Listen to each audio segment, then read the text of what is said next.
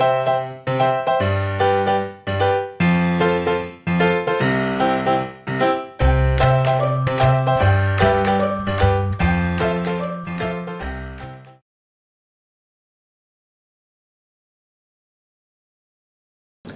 everyone, this is Ankur Chaudhary and in this video lecture I'll be covering current affairs from the month of August 2017.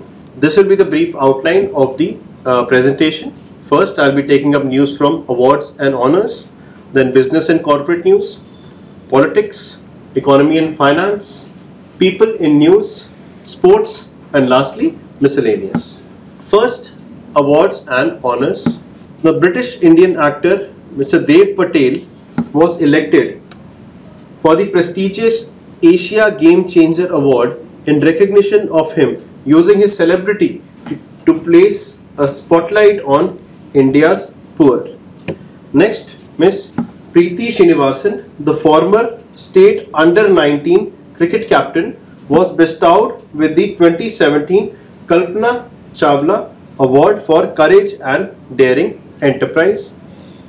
Next, noted Konkani writer Mahabaleshwar Sail was bestowed with prestigious Saraswati Samman 2016, 2016 for his novel Hawthan. Next, some prominent winners of the National Sports Awards. Firstly, the Rajiv Gandhi Khel Ratna Award, which is the highest uh, sporting honor in the country. It was won by Mr. Devendra Jhajharia. He is a para athlete and next uh, Mr. Sardar Singh in the sport of hockey.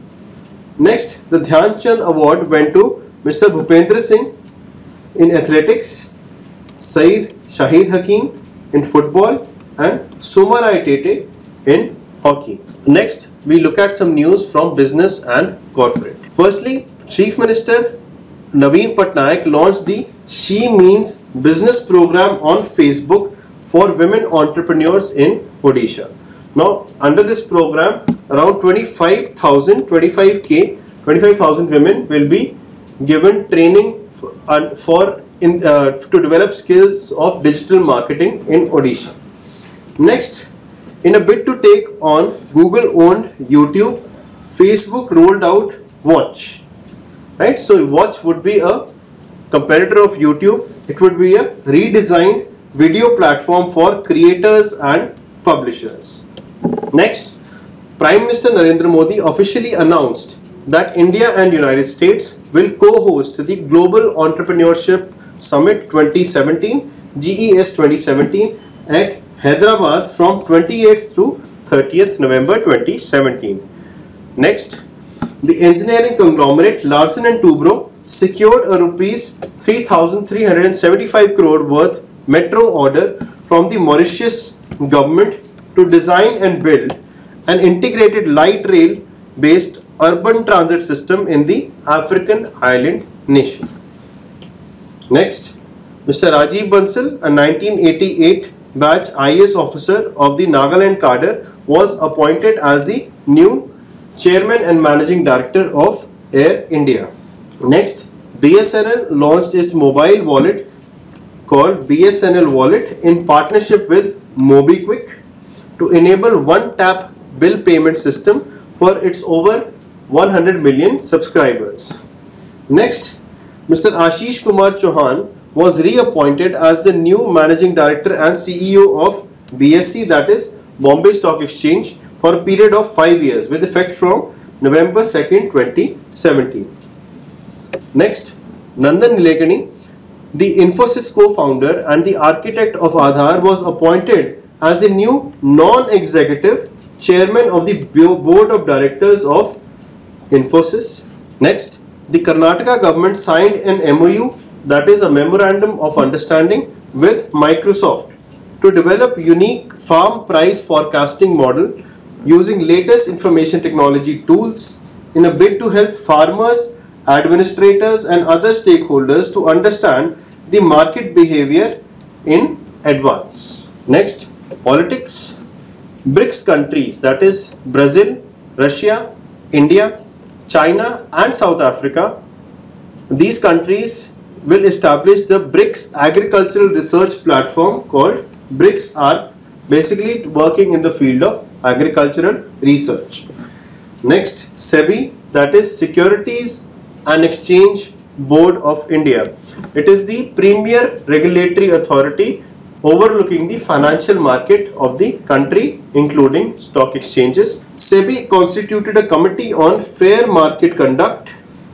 It will be headed by the former law secretary Mr. T.K. Vishwanathan to suggest improvements to the existing SEBI norms or regulations including on insider trading and fraudulent and unfair trade practices.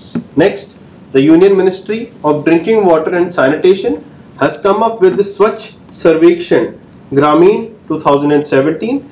It is the third party survey report by the Quality Council of India. This is important. Noting on the effectiveness on Swachh Bharat mission in India. Now, another couple of questions that might be derived from this particular news that is which is the nodal ministry for conducting Swachh Sarvekshan Gramin 2017? The answer is Ministry of Drinking Water and Sanitation, right? And the Swachh Sarvekshan Gramin uh, 2017 was conducted by which agency or organization? That is Quality Council of India, QCI. Next, Election Commission of India to sign MOUs or agreements with election management bodies or the similar bodies of various countries like Ecuador, Albania, Bhutan, Afghanistan, Guinea, Myanmar to enhance cooperation in the field of electoral management and administration.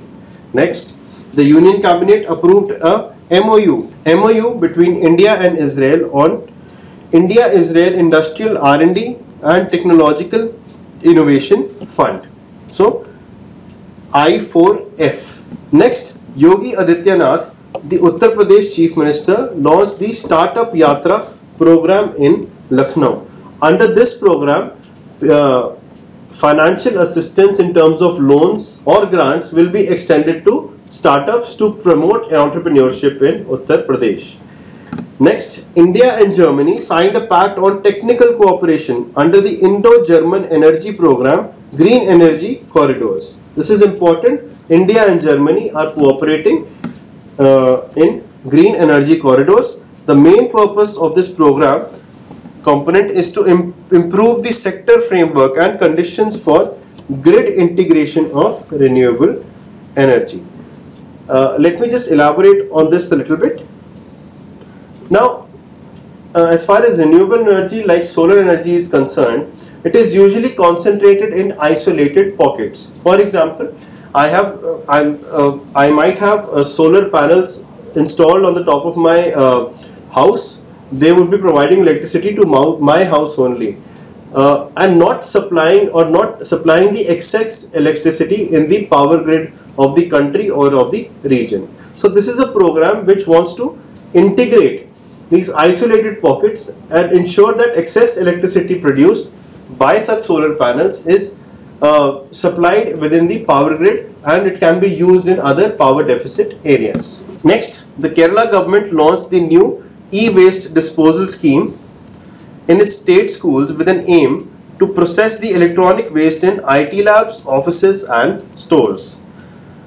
Next, Niti Aayog CEO Mr. Amitabh Kant launched the Mentor India program, right? Mentor India program in New Delhi a strategic nation building initiative to engage leaders who can nurture and guide right these are important in terms of objectives of mentor india campaign who can nurture and guide students at more than 900 atal tinkering labs next the karnataka government launched an ambitious cloud seeding project called project varshadhari in bengaluru to deal with poor monsoons in the state.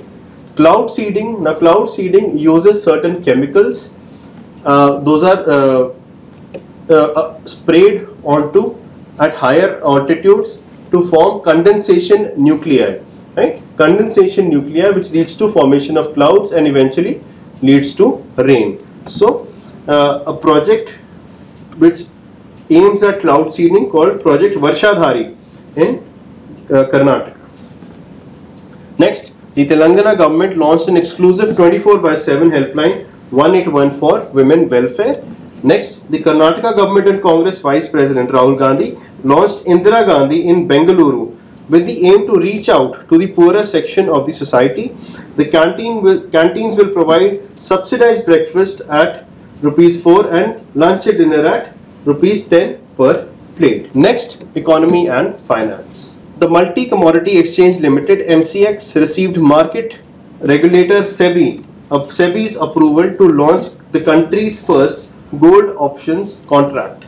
Now these are derivative instruments with the underlying asset of that is gold. Next, the Logistics Data Bank LDB project unveiled in July 2016 to make India's logistics sector more efficient through the use of IT. It will now soon expand to the southern region. Under the LDB project, radio frequency identification that is RFID chips were installed in all shipping containers that you can see on road or uh, on, on, on huge ships uh, you within which uh, cargo is transported. So every single uh, such container was fitted with an RFID chip so as to track its uh, movements across the country. Next the government announced the launch of its second exchange traded fund ETF that is Bharat 22 which will comprise 22 stocks including those of CPSEs that is Central Public Public Sector Enterprises, PSUs Public Sector Units and its holdings under the specified undertaking of Unit, Unit Trust of India. Next, in its third bi-monthly policy review for the financial year 2017-18, the Monetary Policy Committee that is the highest committee in the RBI which decides the various policy rates like repo rate, reverse repo rate, etc. The MPC of the RBI reduced short-term lending rate or repo rate by 25 basis point to 6%. Reverse repo rate was also cut by 0.25% to 5.75%. Next, the state-run oil companies will raise the price of subsidized cooking gas LPG by 4 rupees a cylinder every month to eliminate all subsidies eliminate all subsidies by March next year.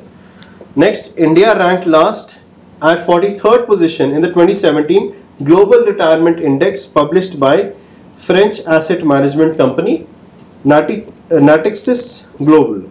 Next the Ujjivan Small Finance Bank SFB Limited, a wholly owned subsidiary of Ujjivan Financial Services Limited, was included in the second schedule of the Reserve Bank of India. Now with that, uh, Ujjivan SFB became a scheduled commercial bank. Next, the Indian Commodities Exchange ICEX became the world's first world's first derivatives exchange to launch diamond futures contract right? So these are again derivative uh, instruments under in which the underlying asset is the is is diamond. Next the RBI appointed a committee on household finance. Uh, it recommended that banks should link their home loan rates to RBI's repo rate the rate at which it lends to other banks. The committee was headed by Dr. Tarun Ramadurai next we see some people in news Firstly, Justice Deepak Mishra was sworn in as the 45th Chief Justice of India. He takes over from Chief Justice J.S. Khehar. Next, the former Union Minister M. Venkaiah Naidu was sworn in as the 13th Vice President of India. Next, the centre appointed Muhammad Mustafa, a 1995 IS officer as the CMD of SIDBI that is Small Industries and Development Bank of India. Next, Dr. P.M. Bhargav, the founder director of Hyderabad based Center for Cellular and Molecular Biology, died at the age of 89 years. Dr. P.M. Bhargav is also known as the father of uh, molecular biology in India. Next, noted Bollywood lyricist, screenwriter, and ad guru Mr. Prasoon Joshi replaced the controversial uh, Prahlad Nihalani as the CBFC chairman. CBFC stands for Central Board of Film Certification. So Prasoon Joshi is the chairman of CBC now. Next, the union government appointed economist Rajiv Kumar as the new vice chairman of Niti Aayog. Next, S. Aparna, an IS officer from Gujarat cadre, was appointed as the Executive Director of World Bank to represent the constituency of India, Bangladesh, Bhutan and Sri Lanka for the next three years. Next, Mr. Shahid Khaqan Abbasi, a politician educated in the United States and Pakistan's petroleum minister, was elected the 18th, the 18th Prime Minister of Pakistan.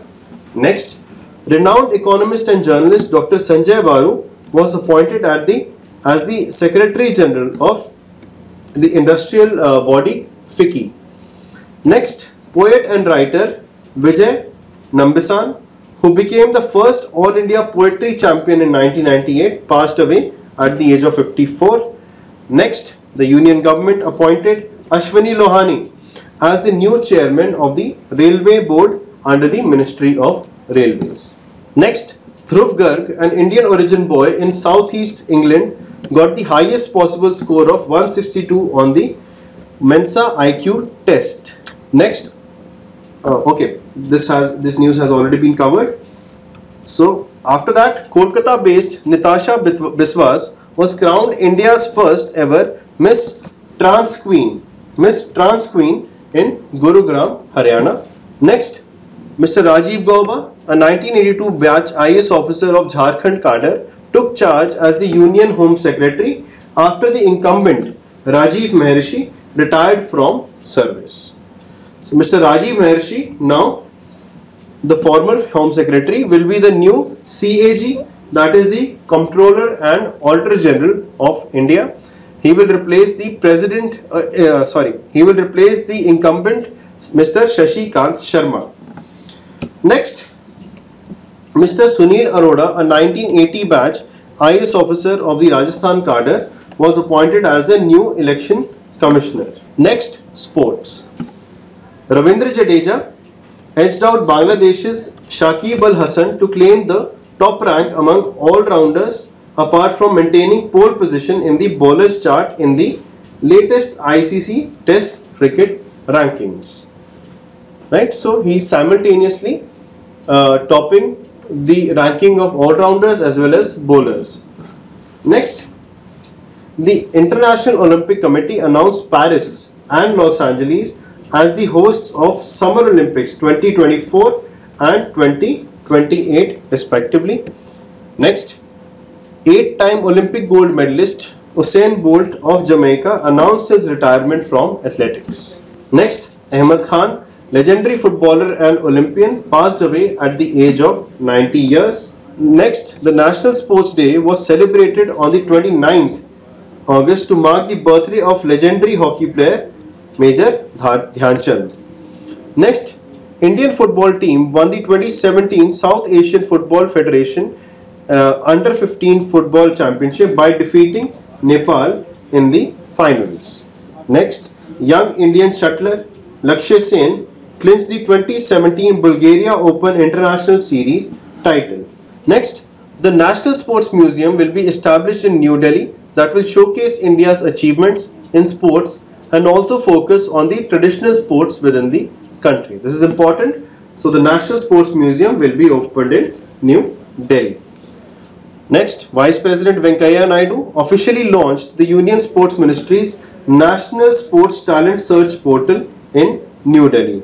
Now this portal will allow any person from across the country to upload his or information as and as per that the ministry will tap their talent and train them accordingly. Next, Japanese shuttler Nozomi Okuhara won the 2017 Women's Single World, World Badminton Championship by defeating PV Sindhu in the finals. Next, Saina Nehwal won bronze in the 2017 Women's Single World Badminton Championship. Next, Sanjeevani Jadhav, a marathon runner from Nashik, clinched silver medal in the women's 10,000 meters at the 29th World University Games in Taipei, Taiwan. Next, some miscellaneous news. Firstly, the International Youth Day was celebrated on August 12th with the theme Youth Building Peace. Next, the International Biodiesel Day was celebrated on August 10th. Next, the Uttar Pradesh government launched Namami Gange Jagrati Yatra. It is an awareness drive along the banks of Ganga River to maintain cleanliness. Next, the World Health Organization announced that it had not yet recorded any case of polio in Somalia in the last three years and hence it declared the country polio free. Next, Israel launched the country's first environmental research satellite in a joint venture between the Israeli Space Agency and its French counterpart. Next, spanning 1621 feet and rising to 279 feet, the newly opened Charles Kuonen suspension bridge in Switzerland has broken the record for the world's longest pedestrian suspension bridge. Next, Maharashtra Chief Minister launched Namo Yuva Rozgar Kendra that is farmers markets on wheels. It will be a mobile farmers market uh, for selling fresh vegetables at comparative prices. Next, the International Day Against Nuclear Tests was observed on August 29th. Next, the International Atomic Energy Agency launched the world's first IAEA low enriched low enriched uranium bank LEU at the Ulba metallurgical plant in Oskemen in Kazakhstan. So LEU low enriched uranium is used uh, in uh, producing electricity electricity in nuclear power plants. So this bank uh, is has been uh, established to ensure a steady supply of LEU throughout the world for producing electricity only. Next, Nepal launched the world's first climate smart snow leopard management plan to safeguard this endangered species of snow leopard and its habitat. Next, the World Humanitarian Day was observed on August 19th. It is uh, celebrated every year to pay tribute to aid workers who risk their lives in humanitarian services. Next, Melbourne was declared the world's most livable city for seventh consecutive year by The Economist Annual Global Livability Survey. Next, ISRO launched its navigation satellite IRNSS into the orbit by the rocket PSLV-39 from Satish Dhawan Space Center at Sriharikota, Andhra Pradesh.